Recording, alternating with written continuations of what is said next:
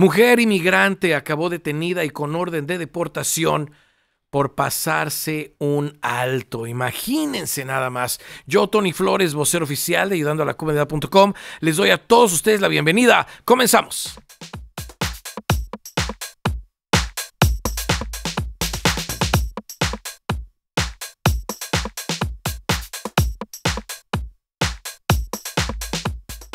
Hola amigos, una vez más aquí ya de regreso y como siempre les traemos información crucial a todos ustedes y quiero presentar a mis compañeros, los que me acompañan a traerles esta información tan crucial que son Adriana Díaz. Adriana, ¿cómo estás? ¿Cómo estás Tony? ¿Cómo estás Ricardo? ¿Cómo están todos ustedes? Pues miren, muy muy feliz de poder estar nuevamente con ustedes trayéndoles mucha información. El tema de hoy me parece muy, muy importante porque generalmente lo que nosotros creemos que es algo muy pequeño se puede convertir en un problemón muy, muy grande. Y nosotros a veces creemos que nuestras acciones pequeñitas no van a tener consecuencias y pueden traer consecuencias que nos pueden acabar hasta con nuestra vida, con nuestros sueños y con todo lo que venimos a, a conseguir acá. Imagínense, de eso vamos a hablar hoy. También me acompaña Richard, Richard Rodríguez, ¿cómo estás? Tony, Adriana, toda la gente que ya está conectada, muy contento de estar aquí con ustedes, con mucha información como siempre, con mucha información para todos ustedes en los cuales nos puede servir de prevención el día de mañana. Eso es nuestro objetivo, de informarles, de, de poderlos poner en una mejor posición.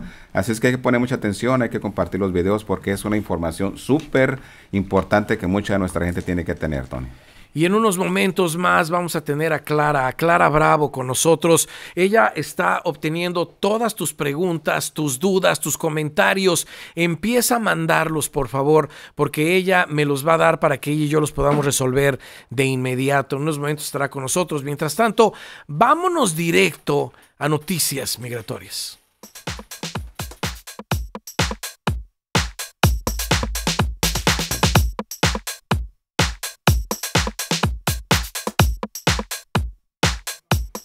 La detienen tras presunto... Ay, perdón, me equivoqué de, de noticia. Ya ven cómo estamos en vivo, ¿eh? Ya ven cómo estamos en vivo. Mujer migrante acabó detenida y con orden de deportación por pasarse un alto por pasarse un alto. Rosa María Méndez emigró a los Estados Unidos hace 27 años para trabajar y gozar de una mejor vida, pero al igual que miles de inmigrantes indocumentados, vive con el miedo a la deportación. Muchos de ustedes sí lo sabemos, inclusive yo antes de, de obtener documentos vivía con pánico de ser deportado.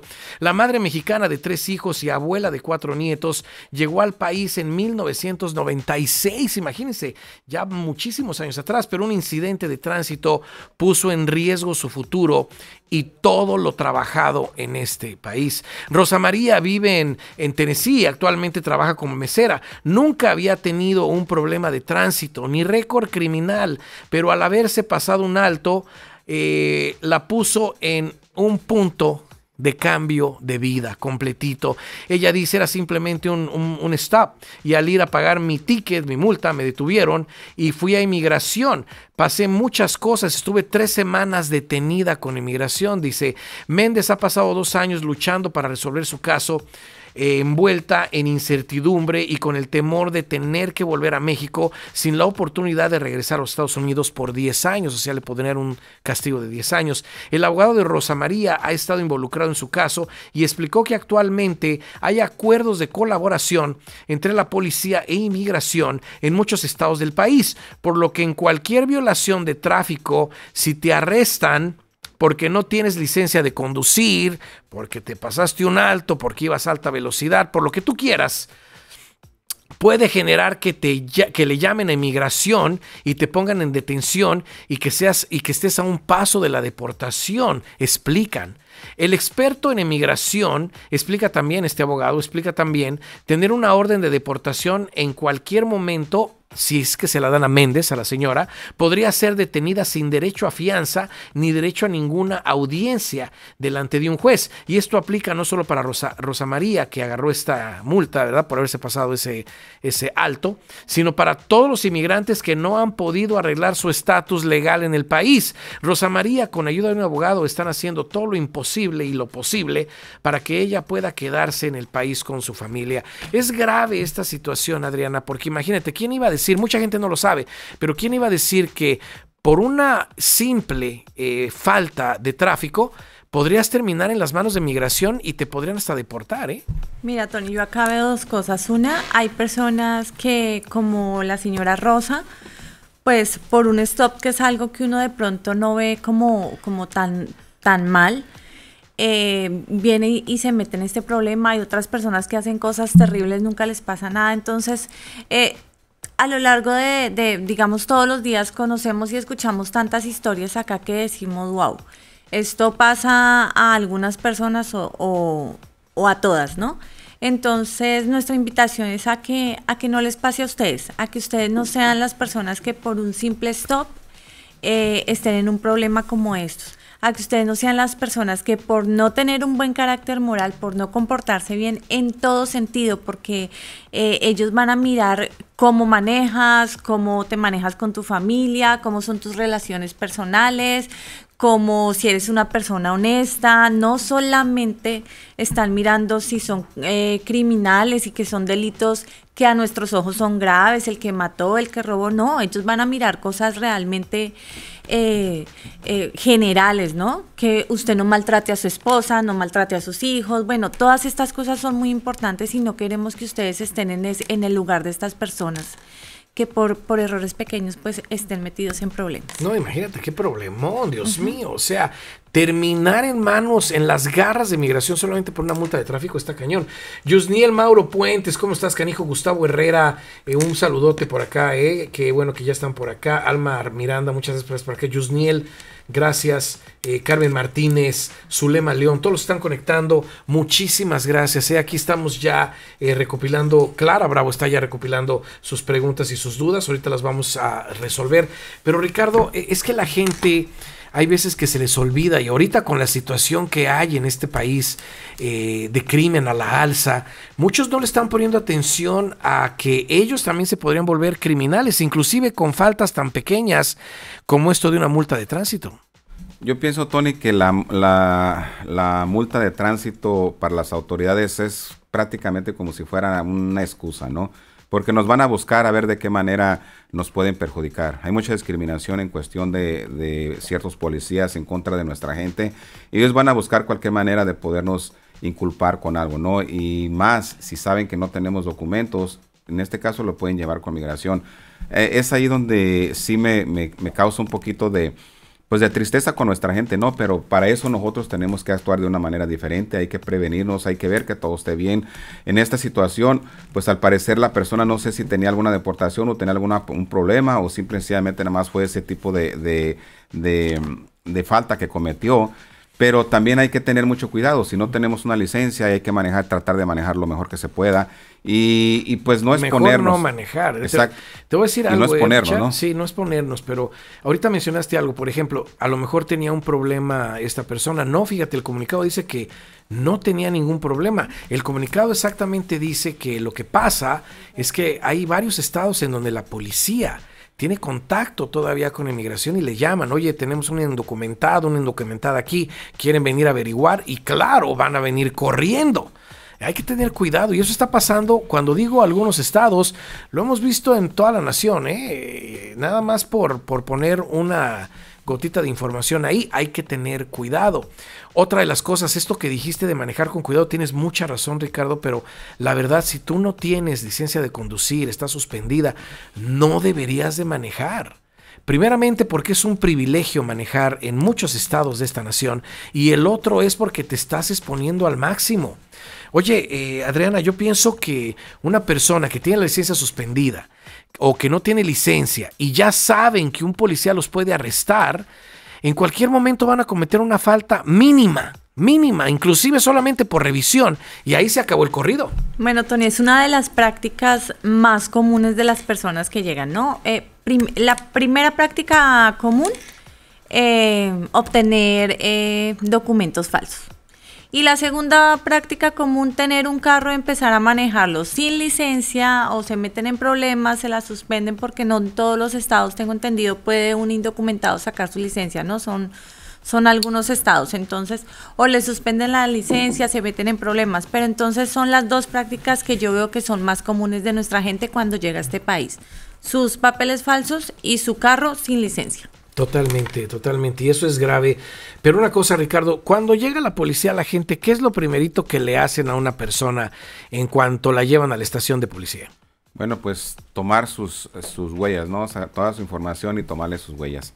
Y pues ahí eh, quedamos ya registrados con, con, todo esa con todos esos datos que ya nos proporcionan y también, como una vez más, como tú lo mencionaste, si tienen contacto con migración, pues están expuestos a que puedan ponerle un hall migratorio y pelear un caso en el cual se puede complicar todo. Por eso hay que tener mucho cuidado con eso, Tony. Totalmente, totalmente, porque es grave pensar que no va a pasar absolutamente nada. Es grave asumir que supuestamente ah, si yo hago las cosas mal, como nadie le pasa nada, a mí tampoco va a pasar nada. No podemos hacer nuestras propias leyes, las leyes ya están ahí. Lo que tenemos que empezar a hacer como comunidad es darnos la mano, informarnos nosotros mismos y hacer las cosas bien. Por ejemplo, si tú no tienes licencia de conducir, bueno, hay que ver si en tu estado dan la licencia de conducir de indocumentados si no tienes documentos, ¿verdad? Si sí tienes documentos, óyeme, ve a sacar tu licencia de conducir, por favor. Eh, no manejes con una sin licencia tampoco. Eh, ahora, si tú estás aquí en este país y también necesitas salir adelante, ¿por qué vas a seguir utilizando documentos falsos? Ahora, me voy a referir a la gente que tiene aquí años años utilizando documentos falsos. Ese seguro social, esa mica, que ya se la creen que es de ustedes, inclusive la cargan en la cartera Gran error. La verdad de las cosas es que va a llegar el momento que ya lo estamos viendo aquí en California, en Florida se puso la cosa horrible. Eh, la semana pasada ya empezaron a haber arrestos de nuestra gente que estaba trabajando en lugares con documentos falsos y empezaron a mucha gente a correrla también. Pero ok, en los estados donde no está pasando eso, ¿por qué no empiezas tú? A ver tus estas avenidas de prevención en las cuales en lugar de utilizar un documento falso, empiezas a procesar el número que dé el gobierno, te despegues de ese seguro social que llevas usándolo por años y hagas las cosas bien. ¿Por qué no empezar así? Los de Florida deberían de tener el número que dé el gobierno. ¿eh? Ese número no entra en lo que es el E-Verify y podrían seguir ejerciendo trabajos si lo hicieran correctamente, inclusive ahí en la, Florida, en la Florida. Pero hay que empezar a hacer bien las cosas porque vienen cambios. Lo he estado mencionando en muchos programas. ¿eh? Les, he, dicho, vienen cambios, van a ganar los republicanos, qué vamos a hacer si empiezan a, estar en contra de, la, de nuestra comunidad indocumentada, qué vamos a hacer si gana el que estaba anteriormente a este, que va a la alza y a la alza y a la alza. Lo único que me pone a pensar es lo último que dijo en cuestiones migratorias. Y se los voy a mencionar para que ustedes lo recuerden. Él dijo, si vuelvo a la presidencia, no nada más voy a usar las fuerzas migratorias, sino también voy a usar a la policía y al ejército para buscar a todo aquel que esté indocumentado en el país. Eso incluye a toda la gente que está utilizando documentos falsos en el país. Yo pienso, Adriana, que ahí es donde la gente tiene que abrir los ojos y decir, bueno, si eso pudiera pasar, que es muy viable, pues mejor me empiezo a prevenir para que si llega ese momento no me puedan hacer nada, ¿no? Sí, y lo que me encanta de todo esto, de todo lo que hacemos aquí en Ayudando a la Comunidad es justamente eso, es poder informarle a las personas que existen caminos, que existen avenidas, que pueden hacer que ustedes estén en este país tranquilos, por lo menos mientras logran em, arreglar muy bien su estatus, o sea, que pueden tener un trabajo, ejercerlo legal y correctamente sin necesidad de utilizar documentos falsos, que no tienen necesidad de eh, usurpar la identidad de otra persona de sacar crédito, de comprar vivienda, bueno, todas las cosas que las personas hacen con ese seguro eh, social falso. Existe un camino y ese es el que nosotros siempre les hemos querido mostrar, y mostrar. Incluso existe hace muchísimos años, o sea, creo que existe desde siempre y las personas no conocen esa información. Las personas, lo la primera información que todo el mundo obtiene es en dónde pueden comprar el, el seguro social falso y todo. Increíble que las personas tengan a la mano y tan fácil esa información y no tengan información como la que les brindamos acá, que es de verdad, es, es, me parece muy, muy valiosa, muy valiosa que ustedes la sepan, que la compartan con sus familiares, con sus amigos, para que todos tomen acción y todos puedan llegar, llegar un momento en que todos puedan, puedan obtenerlo. Zulema León, un saludote. Carmen Martínez, este, ahorita te vamos a contestar. Mauro, Mauro, ¿qué dices? ¿Qué dices? Un abrazo, canijo. Eh, por acá también tengo a Fabio Paz. Todos están conectando. Robert Contreras, ese, ese Robert, un abrazo. Marta Luna, muchas gracias. Eh, lo que acaba de mencionar eh, Adriana es algo de que en realidad podríamos y tendríamos que ponerle muchísima atención. No es algo simple, ser inmigrante en este país, lo entiendo. Es difícil llegar de una tierra que tú amas, de tu país, en donde no puedes salir adelante, en donde en realidad las cosas están peor que nunca, y venir a este país ya de años atrás a buscar una nueva vida y te estableces y tienes una vida perfecta y tienes tu, familia y tienes tu carrito y a lo mejor tu casita o tienes mucho tiempo rentando en donde estás, ya casi casi te la venden porque ya les pagaste toda la deuda, tienes un trabajo estable, estás muy bien y que de repente por un problemita de tránsito o por un problema legal o por un problema de no haber revisado tus récords criminales en cierto momento, te pueda en ese momento cortar todas las raíces que ya tenías aquí y ponerte en peligro de no nada más cárcel y problemas legales, sino de una deportación.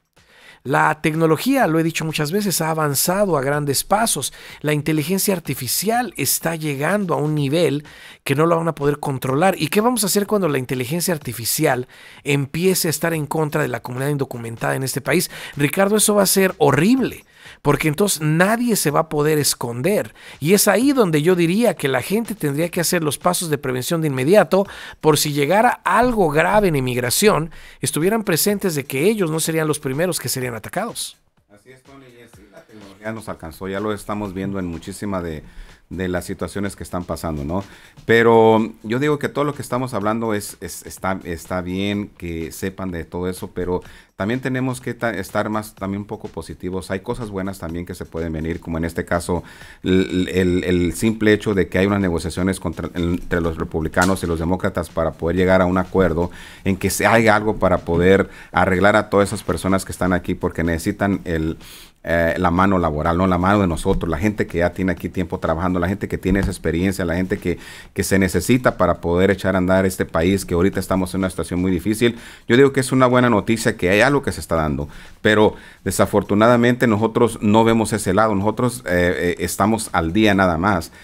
¿Qué es lo que tenemos que hacer con todo esto que nosotros estamos diciendo ahorita, todas las cosas malas que están pasando a mucha gente, todo lo que estamos viendo que le está sucediendo a otras personas, lo, lo decimos también para que tomemos conciencia, para que veamos que, algo esto nos puede pasar a nosotros y nos podemos quedar fuera de todo eso. Entonces, ¿qué es lo que tenemos que hacer? Hacer los pasos de prevención que Tony nos va a mencionar ahorita para que el día de mañana que se dé algo que, que, en realidad eh, esperemos que, que, sí suceda y, y, yo lo siento y lo hemos sentido en estos días y aparte pues los comunicados que vienen de, parte de las autoridades que si algo se va a dar un ajuste migratorio porque ya se necesita, tenemos que estar preparados para no quedarnos fuera, Tony. ¿Y cómo prepararte? ¿Cómo hacer las cosas bien? Yo pienso que lo principal es lo que acaba de mencionar Ricardo, los pasos de prevención. A mí me gustaría saber, no sé si tú sepas, Adriana, que ahorita ha incrementado muchísimo las compañías de tarjetas de crédito, eh, mandándoles, mandándoles cartas a sus clientes diciéndoles, oye, gracias por ser mi cliente por tantos años, gracias por cuidar tu cuenta, tus pagos están muy bien, pero tenemos que revisar tu seguro social y les mandan una carta que viene del Departamento de Fraudes y aparte les mandan documentos del Departamento del Seguro Social donde ellos tienen que poner el número y firmarlo bajo pena de perjurio. Eso está pasando, Adriana, y yo pienso que la gente ya tiene que poner ojo en esto y dejarse de cosas de que es mi crédito y nada va a pasar. Y no solo por eso que estás diciendo, Tony, sino que el común denominador de todas las cosas que se vienen para toda la comunidad, eh, sea ley de registro, sea dignidad, o todas las cosas que, que podemos obtener, todas tienen el común denominador y es el demostrar el buen carácter moral. Y es muy, muy importante. O sea, no podemos demostrar un buen carácter moral eh, teniendo o usando un seguro social que no nos pertenece. O sea, por ahí ya estamos fuera. Entonces, hay muchas personas que nos llaman y nos dicen, hey, es que queremos saber cómo va la ley de registro. Bueno, pues puede que vaya muy bien. Pero lo importante y lo que usted se tiene que preguntar es, ¿usted cómo está preparado para recibir la ley de registro, no? Porque bueno, se dio hoy, se dio mañana, se da a mediados del otro año. Bueno, realmente no tengo la respuesta a, saber cuándo se va a dar. Pero sí quiero saber, ustedes están preparados para demostrar su buen carácter moral, para decir, mire, yo me he comportado bien, yo soy una buena persona y merezco estar en este país, por favor. Entonces, esa es la pregunta que nos tenemos que hacer y es a lo que nosotros queremos invitarlos. Totalmente, y, me río porque se ha mencionado esto antes, Ricardo, que la gente es la fundación de ellos mismos y tendrían que empezar por ellos antes de estarse preocupando si se va a dar algo o no. ¿Por qué? Porque si se preparan para algo que viene, van a agarrar papeles, pero si no se pero si se preparan también por si emigración sale a las calles, pues no los van a deportar, ¿no? Es que una manera, tú lo mencionaste, o sea, la fundación somos nosotros. O sea, ¿qué quiere decir eso? Que cómo nos va a ver el gobierno, cómo nos ve si nosotros estamos mal en una situación, si tenemos problemas. Lógico que en cuanto tengamos algún alguna situación difícil con la policía, con migración, así es como nos ven a nosotros. Por eso hay que hacer que cambie es eso, ¿no? Que nos vean de una manera mejor, que nos vean de una manera en la cual nosotros también calificamos para que podamos tener cualquier beneficio que se dé o que podamos pelear en cualquier caso como, como lo acaba de mencionar Tony, si estamos eh, eh, confrontados en una situación difícil, que no tengan de qué agarrarse para que nos puedan deportar, ¿no? Por eso hay que trabajar en nosotros para que eh, estemos bien, nuestra fundación esté firme. Exacto, exacto. Y vámonos a nuestra sección de dudas y preguntas. Así le vamos a llamar ahora a nuestra nueva sección, tus dudas y preguntas, que las tenemos Óyeme, casi toda la semana porque en realidad ustedes tienen dudas y preguntas y las queremos resolver. Antes de eso, acuérdate los pasos de prevención. Te los voy a dar bien rápido porque es importante que los tengas presentes y que los hagas. No nada más te los aprendas porque hay gente que se los sabe de memoria, pero no los han hecho. El primero, revisa tus récords criminales. ¿Ya los revisaste? El segundo, despégate de ese seguro social falso, lo estamos diciendo porque es importante y al mismo tiempo se te procesa el tercero, que es obtener el número que dé el gobierno gratuitamente para que puedas ejercer trabajos en este país, ya sin la necesidad de utilizar documentos falsos, créelo. Y también el número cuatro es obtener la tarjeta roja que es gratis. O sea, deberías de estar llamando al número que está en pantalla, que es el 1888 301 6111. 1888 301-6111 para que te demos información. Es la línea de ayuda de ayudando. No te vamos a vender nada, ¿eh? te vamos a dar información. Ya está en ti que quieras hacer algo. Vamos a nuestra sección. Le doy la bienvenida a Clara Bravo. Clara, un placer tenerte aquí en el programa una vez más. ¿Cómo estás? Hola Tony, hola Adriana, muy bien, muchas gracias. Un gusto, un placer de estar aquí nuevamente con la sección de preguntas y respuestas, siendo la voz de nuestra gente y pues vamos a empezar cuando usted diga. Vamos empezando de inmediato porque sé que ha estado muy activo todo en redes sociales y nos están dejando preguntas. A ver, ¿qué tenemos, Clara? Sí, Tony, nos han estado dejando muchas preguntas y vamos a empezar con esta. Dice, hola, disculpe, yo ya tengo mi ITIN number. ¿Cómo puedo hacer para sacar el número que da el gobierno? ¡Ay, fantástico! Si ya tienes tu ITIN number, ya tienes un paso, bueno, los dos pies dentro para poder obtener este número que del gobierno. Nada más que acuérdate que tu número de ITIN tiene que estar en buenas condiciones. Queremos decir que no esté expirado, queremos decir que estés haciendo tus impuestos al día, queremos decir que no tengas alguna deuda con el IRS, entre otras cosas, y se te puede procesar el número. Pero el número es solamente una de las herramientas que necesitas y estamos ayudando a la gente a obtenerlo gratuitamente siempre y cuando quieran arreglar su vida en este país, siempre y cuando quieran hacer las cosas bien en este país. De nada nos va a servir ayudarte a obtener el nada más y que tú digas, ah, ya tengo el número y de repente te caiga un problema migratorio y nos quieras hasta echar la culpa a nosotros porque pues no te ayudamos a hacer todo lo demás. Indaga, te vamos a dar el número gratis, no te preocupes, pero también indaga para los récords criminales, indaga para despegarte de seguro social falso que tienes en uso, inclusive si nada más lo usaste supuestamente para trabajar una semana, con eso es suficiente, ya violaste la ley. ¿Qué otra pregunta tenemos, claro? Sí, Tony, antes de mencionarle la siguiente pregunta, pedirle a la gente que nos apoya seguir compartiendo esta información es muy importante. Gracias a todos por sus comentarios. Y aquí le voy a hacer otra pregunta. Dice, hola, ¿dónde puedo sacar mis récords de inmigración? Ándale, muy buena pregunta. No solo los récords de inmigración, sino también aquellos que quieran sacar sus récords criminales del Departamento de Justicia o del FBI. Hay que revisar todo eso. Quizás esta persona quiere ver el, récord de inmigración porque tuvo alguna deportación o porque tuvo alguna petición y quiere ver cómo quedó todo eso. Hay que, ahí está el récord migratorio. ¿Dónde lo puedes sacar? Te vamos a orientar en cualquier parte de la nación que estés.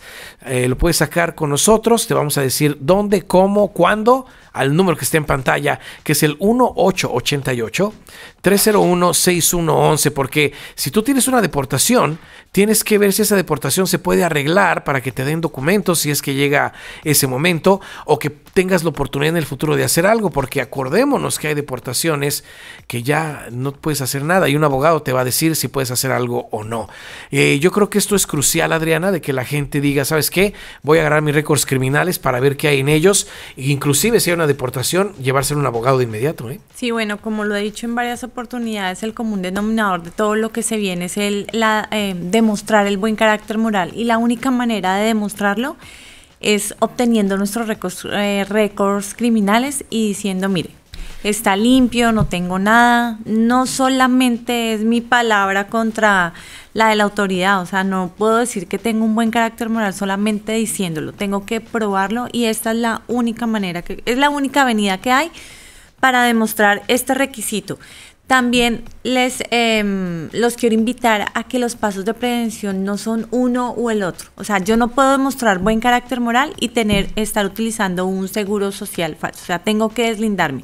Yo no puedo limpiar mi récord, deslindarme y no pagar impuestos. Entonces, tenemos que hacer absolutamente todo. No es solamente voy a hacer solo una cosa, voy a hacer solamente la otra. Entonces, también quiero invitarlos a que esto es como como un paquete de prevención que tenemos que tener preparado para el momento en que queramos arreglar nuestro estatus, para el momento en que queramos ser eh, beneficiarios de todas esas cosas bonitas que se vienen para toda la comunidad. Y sí es cierto, ¿eh? sí es cierto, inclusive si no te dieran documentos y haces los pasos de prevención, va a ser muy difícil que te saquen del país. O sea, porque ¿Cómo te van a sacar si estás haciendo todo exactamente como tiene que ser? Ya revisaste tus récords criminales, viste que había récord criminal ahí que no te pertenecía y se limpió, para eso no necesitas un abogado, o tenías algún problemita y quedaron felonías, misdemeanors, ya fuiste con un abogado criminalista, ya los arreglaste, o sea, eso es, eso es crucial. También te despegaste el uso de documentos falsos de ese seguro social falso y ahora tienes el número que da el gobierno para ejercer trabajos y tu para hacer crédito. Claro que te van a ver como un buen, una persona de buen carácter moral Qué bueno que mencionaste eso, Adriana, pero ¿qué otra pregunta tenemos? Claro. Tony, nos están preguntando, dice aquí, llevo cinco años viviendo en Nueva York, ¿también puedo sacar la tarjeta roja? Cinco años viviendo en Nueva York, claro que sí. La tarjeta roja solo llámanos. Como dijo Adriana, es un instrumento solamente. Pregunta por los demás, las demás herramientas que te van a servir. ¿eh? No nada más la tarjeta roja o el número, que porque son gratis. No, entérate de todo lo demás que hay. Aunque inclusive si te damos toda la información y tú lo haces en otro lado, no importa. Por lo menos ya te dimos toda la información y ya nos diste paz mental de que dejamos una persona bien equipada con todo esto, con toda la información. Ya si lo quieres hacer con nosotros, con los brazos abiertos te vamos a recibir y te vamos a ayudar a hacer todo esto. Pero la tarjeta roja no necesitas calificar para ella. No importa en qué estado de la nación estés, te la vamos a hacer llegar. Lo único que tienes que hacer es llamar al número que esté en pantalla y no hay que calificar para ella. Lo único que hay que hacer es llamar, pedirla, te la vamos a enviar al 1888 301 6111. Pero sí te voy a decir una cosa, ¿eh? Llama de inmediato porque se agotan. O sea, no es de que tenemos una infinidad de ellas. De repente nos quedamos sin ninguna tarjeta roja y tú te quedaste sin tu tarjeta roja. Mejor llama ahorita que tenemos para que te la podamos enviar de inmediato. ¿Qué otra duda tenemos, Clara? Tony, tenemos un comentario aquí muy importante. Dice, no solamente en delivery, también en los hoteles, restaurantes, absolutamente en todos lados se está violando la ley. La gente de algo tiene que vivir. Lo entiendo, lo entiendo. O sea, esta persona está diciendo que no solo en las cuentas de delivery, como lo mencionamos, de que hay muchas gentes agarrando cuentas de delivery falsas. Bueno, que las crean y se las rentan, eso es, eso es gravísimo. Ya están arrestando a mucha gente por eso. Eh, y no saben qué hacer. También dice la persona, no es que trabajamos en hoteles, en restaurantes, en muchos lugares. Tenemos algo que vivir, sí, pero hagámoslo bien.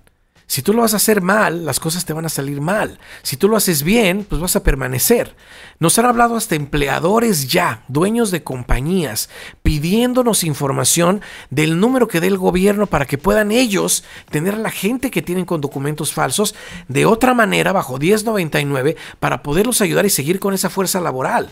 Imagínense si ya se están preocupando los dueños de negocio, ¿por qué yo no me voy a preocupar siendo la persona que está violando la ley? Esa pregunta la entiendo.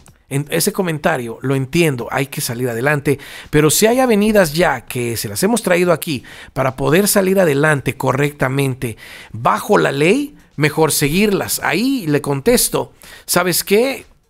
Tú estás mal. Lo que necesitas es el número que dé el gobierno para poder ejercer trabajos en este, en este país si no tienes documentos, porque utilizar documentos falsos o un seguro social solamente porque todo el mundo lo hace, pues cuando arresten a todo el mundo, cuando todo el mundo tenga problemas legales, cuando lleguen por ellos emigración, entonces no te quejes, porque eso es lo que estabas pidiendo. ¿Qué otra pregunta tenemos, Clara? Tony, nos están preguntando cómo puedo obtener mi ITIN para pagar los impuestos. Perfecto, y hay que pagar impuestos, lo mencionó Adriana, dijo, ¿sabes qué? En este país hay que pagar impuestos si es que queremos salir adelante, inclusive migración lo dice, el que no tenga impuestos pagados no va a calificar para ningún alivio migratorio. Tu ITIN lo agarras con un contador público certificado que sepa de ITINs. Están los CITEX, los CITEX ayudan a la gente a hacer las formas de, de, de los impuestos y los mandan cada año. No todos pueden hacer ITINs, ¿eh? Si vas a ir con el que te hace taxes cada año y no es contador público certificado, es nada más CITEC, pregúntale, oye, ¿sabes qué? ¿Estás certificado para hacer ITINs? Si te dice, sí, yo estoy certificado, certificada, muéstrame tu certificación. Si te muestra la certificación, ahí haz tu número de ITIN. Si no, vete con un contador público certificado a que te lo hagan, porque hay mucha gente que aplica para el ITIN y nunca le llega y le bajaron dinero y era gente que no sabía cómo pedir el ITIN. Vea la segura, ¿eh? Última pregunta que tengamos, Clara, por favor. Tony, una pregunta muy importante. Dice aquí, no me dan hora de comida porque soy inmigrante. ¿Yo también tengo ese derecho? Wow, tiene el derecho de que le den su hora de comida.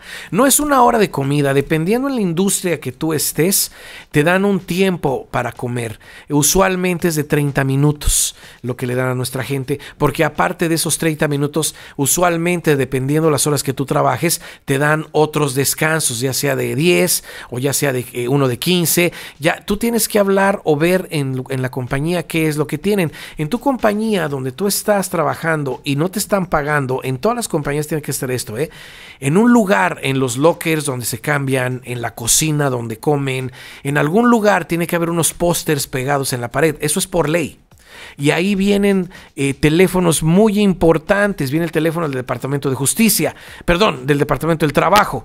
Llama al Departamento del Trabajo y pregunta, oye, ¿sabes qué? Está pasando esto. Te van a decir, ven, haz una queja directamente con el Departamento del Trabajo. Dile, ¿sabes qué? No me pagan mi hora de lunch, no me dan mi tiempo para ir a comer. Entonces, en ese momento, ellos van a empezar una investigación y con esa investigación tú puedes pedir un permiso de trabajo. Te van a dar unas formas para llenar. Nos puedes llamar con esas formas si tú quieres. Podemos poner a Luis Quintanar el DA para que él las llene y las mande a migración, pero para que te den tu permiso de trabajo. Pero para hacer eso, antes deberías de cumplir también con todos los pasos de prevención para demostrar un buen carácter moral, porque cada eh, caso migratorio es diferente, acuérdate. So, si tienes esa oportunidad de hacer eso y si te están violando la ley de esta manera, empieza a quejarte para que te den esos documentos. Eso sería lo mejor que hay que hacer. Y llámanos para los pasos de prevención al 1888-301-6111. Entérate, solamente llama la información es gratis y tú ya sabrás qué hacer con esa información. Con eso los dejo. Gracias Clara por haber estado conmigo hoy en esta sección de dudas y preguntas. ¿eh? Gracias a usted, Tony, gracias a toda nuestra gente por todas las dudas, los comentarios que nos estuvieron dejando. E invitarlos a que sigan comentando, les vamos a responder todo. Claro que sí, muchas gracias, Clara. Y me voy con el último comentario de Adriana para nuestra comunidad.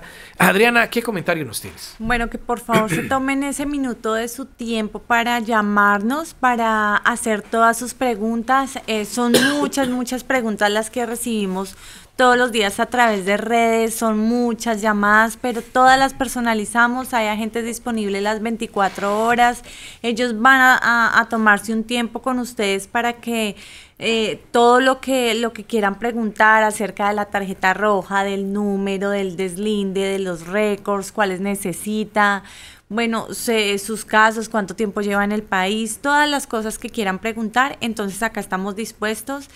Eh, tenemos un alto volumen de llamadas a nivel nacional, por lo que muchas veces, o bueno, no muchas veces, a veces no, no pueden enlazar la llamada con el asesor. Con seguridad, en los próximos minutos, tan pronto se desocupe una línea, les van a retornar la llamada. bajo el, el número de área 562 somos nosotros. Súper, súper información. Y la verdad de las cosas es que la tienen que tener porque si no tienen esa información ustedes que les acaba de dar Adriana, estamos perdidos, ¿eh? Porque cuando pasa un problema migratorio, legal, de récords criminales, financiero, de uso de un seguro social falso y no sabemos a quién llamar, pues ahí está el teléfono en la pantalla. Yo lo apuntaría en este momento y lo pondría en el refrigerador, ¿eh? Porque ese número que es el 1888-301-6111, no sabes cuándo nos vas a necesitar y ahí vamos a estar para ti. Tenemos más de 20 años en la industria ayudando a nuestra gente. Aquí vamos a estar para ayudarte a ti. Pero si no tienes ese número, claro está que el día que nos necesites, no vas a saber ni a quién llamar. Vas a llamar a una persona que quizás ni tan siquiera te van a dar el servicio que tú necesitas. Último consejo, Ricardo, para hoy. Bueno, Tony, mira, uh, dijiste una, cosa muy importante para nuestra gente, 20 años de experiencia aquí en, en, ayudando a la comunidad.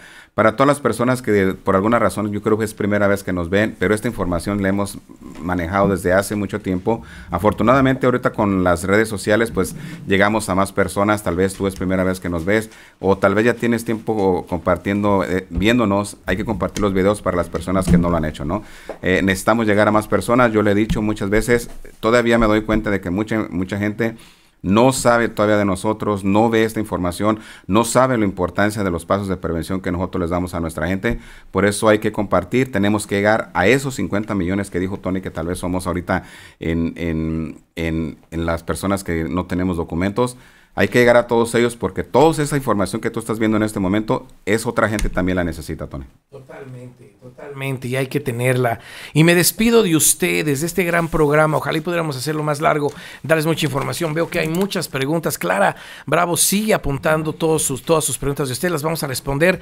Pero doy las gracias a todos los de televisión que se conectaron hoy por sus canales, también a los de radio AMFM, a los de todos los de redes sociales, a nuestro equipo de producción que son Arturo Salgado, nuestro productor productor, Bañuelos en ingeniería, Tony Soto en los controles, Armando Herrera en Mundo Lar en equipo técnico, Alexis Ramírez en sistemas, eh, Clara, como lo decimos siempre, Clara Bravo en medios, eh, Monse Lizárraga en preproducción y en el Master Control, John Mancillas, Edgar Cuevas y Alberto Moreno. Muchísimas gracias. Aquí nos vemos muy pronto. Un abrazo cordial, bendiciones. Hasta la próxima.